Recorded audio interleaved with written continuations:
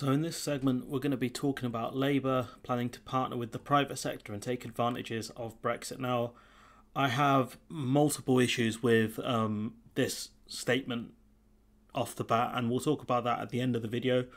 Unfortunately, Starmer cancelled his speech in Huddersfield, so we couldn't actually get any um, details specifically about what um, he was planning or you know any specific details. As always, the Labour Party are very um, vague Shocker. So we'll just go through the article as best we can. So Labour will seek to reimagine the role of government as a partner to the private sector. Labour should not be doing this. This is not what Labour's about. Labour are meant to be for the workers, not for business owners. So right off the bat, it's very frustrating. And to take advantages of the opportunities of Brexit, how? How are you going to do that? What what specifically is your plan? Because they don't mention it in the article. Setting out his blueprint for future growth, the Labour leader will name six principles for the economy under a Labour government, starting with valuing the role of private companies as a partner to the state. Now, if you're talking about things which the state typically doesn't do, like customs agents and things like that, then fine but it just I, I just don't know what to say. It doesn't make sense. He will also lay into Sunak, saying the Conservatives introduced 15 tax rises, including more than any other chancellor in half a century, which is true, which is a fine attack line, especially when you talk about them raising taxes on worker working class people with national insurance increases.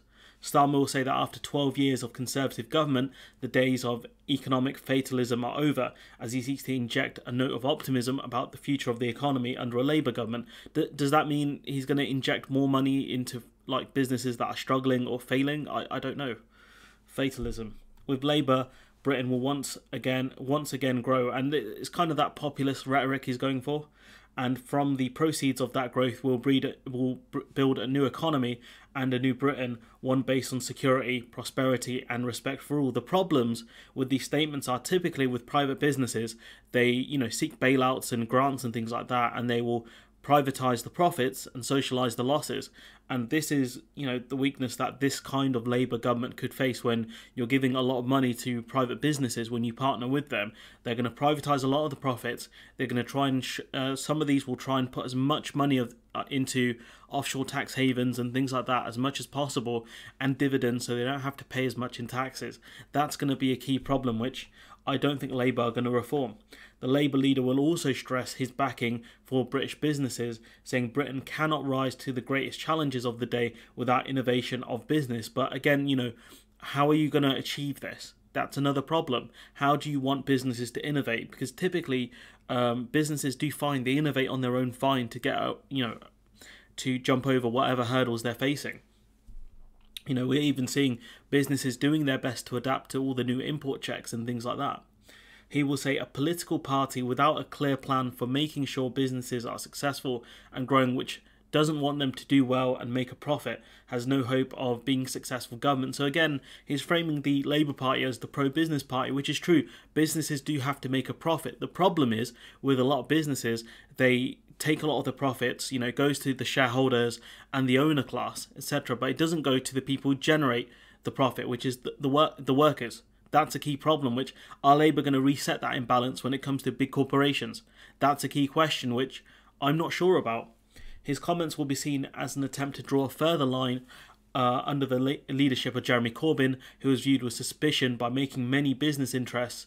Um, because of his by many big business interests because of support for nationalising some sectors, which Starmer, when he was running for leadership of the Labour Party, did push um, you know, and other, you know, certain EU members do actually have um, nationalisation to an extent of private companies. I think EDF would be the best example of that, the French energy company, which the French government has a massive share in.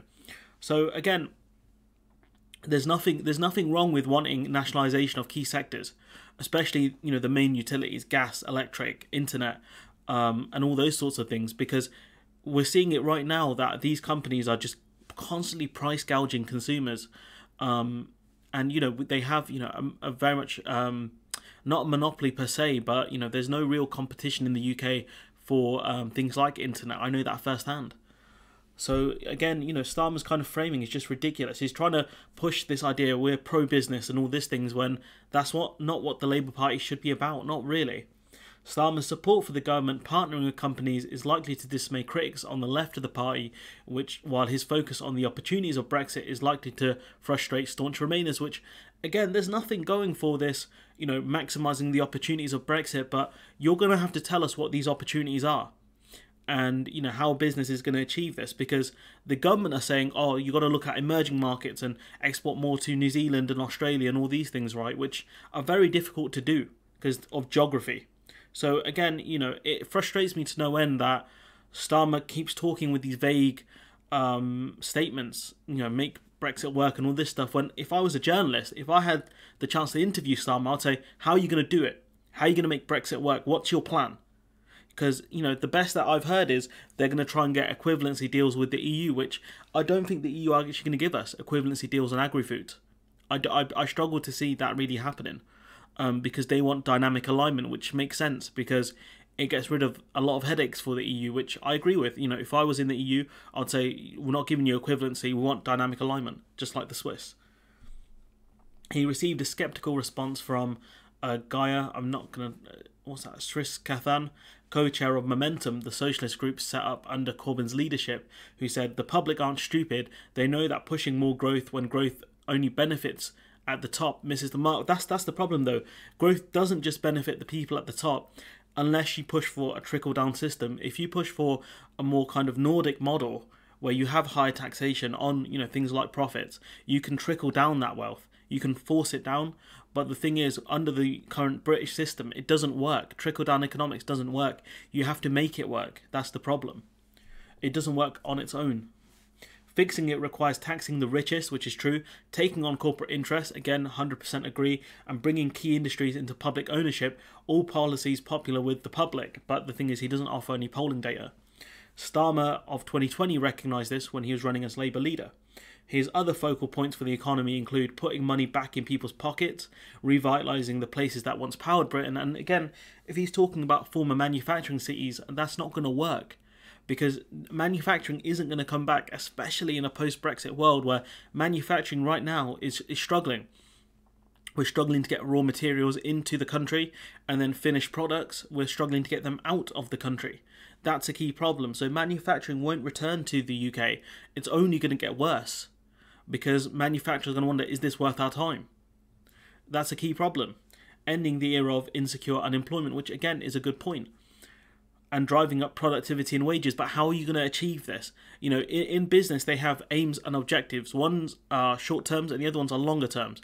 One, I can't remember the exact way they go, but I think it's objectives are the longer term ones and the aims are the specifics of what you're going to do. And the thing is, Labour can have all of these big objectives, but with no specific aims, it doesn't help. Starmer has been touring the country in recent weeks, especially in the north of England. You know, he's trying to, fo- to focus on the north of England, especially you know, talking about the cost of living, which is good. Talk about these things, but what are you going to do to resolve them? You know, by bringing the key utilities into um, government control, you can get rid of the profit objective and run it instead of at, you know, wherever it is now, 15, 20, 25% profit, um, run it at 5% profit, things like that, where you can really help people. The party's strategy is for Starmer to keep his focus on issues such as tax and the cost of living to keep the heat on Tory divisions. But the thing is, people are going to ask you the question how are you going to solve these issues? And you have absolutely nothing.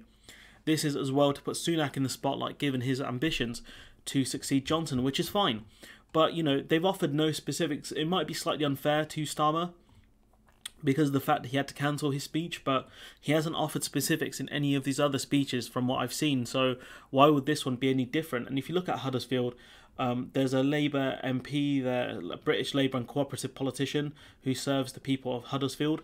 Um, if you look at their uh, Brexit result, they voted just above 50, uh, so just above um, half to uh, vote for Brexit. So you know it, it, they might not bre- vote um, support Brexit now. Um, things change, demographics, etc. Um, 2016 was a long time ago, but the simple fact is.